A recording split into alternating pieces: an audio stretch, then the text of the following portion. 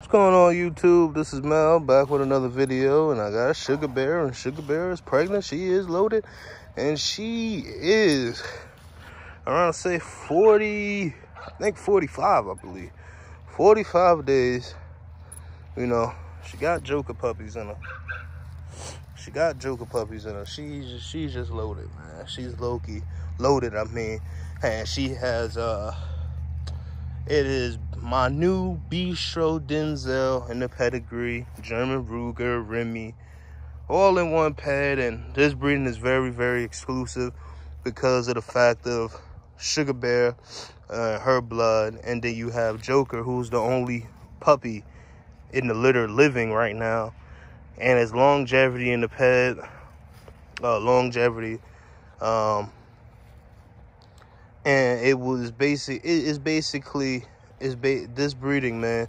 I want to basically do a co-ownership, or like I said, you could buy right out. But the thing is, with that, we gotta have a certain agreement where, if it's a male or a female, I could always come to it, or or we're open. You know what I'm saying? We're open, and if it's a male, I would want to pull straws from it and don't get me wrong, if you pay straight out, I'll pay you for the straws. You know what I mean? I'll pay you for the straws. It's not a big deal to me because you paid your money. If it's a co-own, then it's a it's a whole different story. We'll be working basically together. And, you know, and hopefully it, it works out for the best, you know.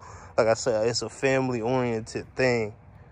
Uh, when we doing a co-home, we, we'd be like family, you know? And that's something that I want all my customers or buyers to feel is like family.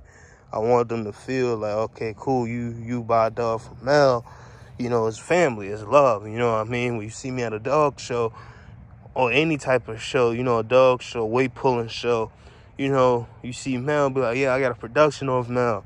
Or, or, you know, Mel judged my dog and Mel, Mel knows what he's talking about. You know what I'm saying? So it, it's it's a lot, man. It's a lot. Like I said, this breeding A1, man. You know, we looking at 60, 80 pound beast off this breeding. You know, this is a real, this is a breed, this is a breeding that's gonna set people kennels, you know, on the charts.